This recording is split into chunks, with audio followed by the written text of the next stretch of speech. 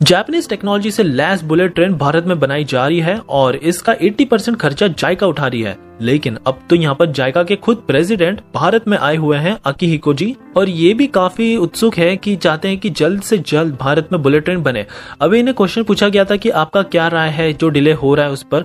उन्होंने कहा कि डिले मैटर नहीं करता है, बस बात यह है कि सेफ्टी से कोई कॉम्प्रोमाइज नहीं होना चाहिए। जापान का तो वैसे पूरा लंबा चौड़ा ट्रैक रिकॉर्ड ही है कि जब से इनके देश में बुलेटिन दौड़ रही है, एक भी मेजर फेटेलिटी नहीं हुई है। और इसका रीजन है सेफ्टी सेफ्टी इनके लिए टॉप नॉच प्रायोरिटी है। इसके अलावा जापान भारत की काफ़ी ज़्यादा टेक्नोलॉजी की साइड में भी मदद कर रहा है।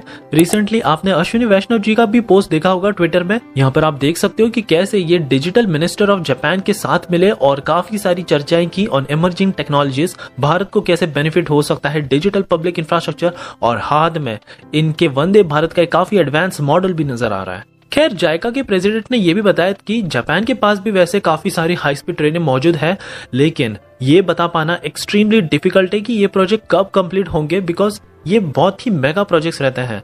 और क्विकली पॉसिबल हो पाना, ये एक काफ़ी ज़्यादा चैलेंज होता है। बट एब्सोल्युटली इन सबसे ज़्यादा मैटर करता है सेफ्टी नाउ जापान की बुलेट ट्रेन की बात करें, इनके पास तो ढेरों सारी सीरीज़ है। ई सीरीज़ की, फिर H series N series W series जैसे कि E one E two E three E four E five और इनके भी स्पीड्स काफ़ी ज़्यादा वेरी करते हैं। 240 किलोमीटर पर आवर से लेके 320 किलोमीटर पर आवर भारत को भी ये काफ़ी हद तक मॉडर्न ट्रेन दे रहे हैं ई फाइव सीरीज़ की शिंकैनसेन फिर उसके बाद बाद आती है ई सिक्स सीरीज़ की शिंकैनसिन जो जापान ने रिसेंटली डेवलप की थी और उसकी भी स्पीड लगभग बताई जाती है कि 19-20 का ही फ़र्क है 320 से 350 किलोमीटर पर आवर की इसकी टॉप स्पीड है।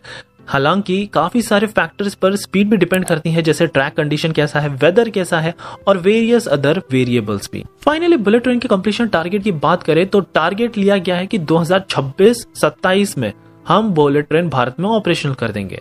सो so, इसके बारे में आपकी क्या राय है अपनी? डेफिनेटली कमेंट्स में बताइएगा।